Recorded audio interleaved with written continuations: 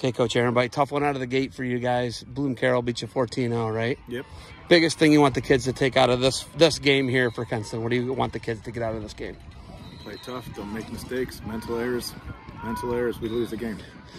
You know, you come to this OAC event, it extends practice by a couple weeks. What do you think the kids take away from getting to practice in the snow?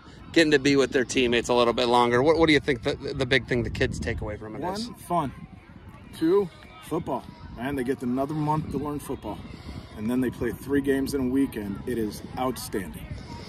You don't normally get to play three games in two days, right? You don't get ever ever get to play two games in one day. How do you navigate them through two games in one day like today? Well, we, we do a lot of uh, a lot of rotating of the players. Try to keep some legs fresh. Uh, try to keep attitudes up even when when losing, and uh, just play all the kids. Biggest thing about this facility, you got all these other teams, 50 plus teams come here and they converge on one place. What do you think kids are getting out of seeing these other teams? You got Massillon on the next field over, right? You're just seeing so much. What do you think about exposure wise it does for the kids?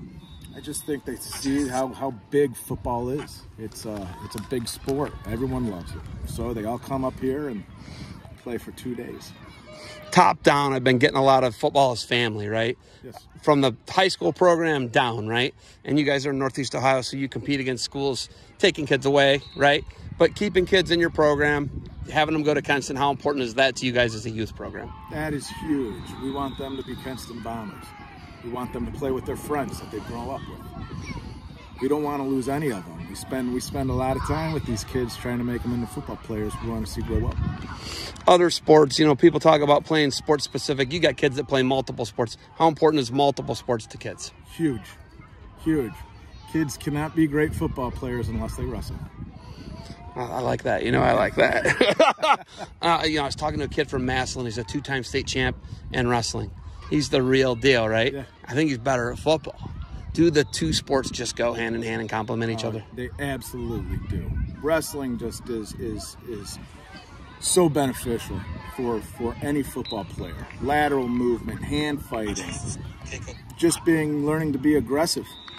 It's it's it's huge. It's huge. And yes, yes, football, football it'll get you it'll get you ready to wrestle.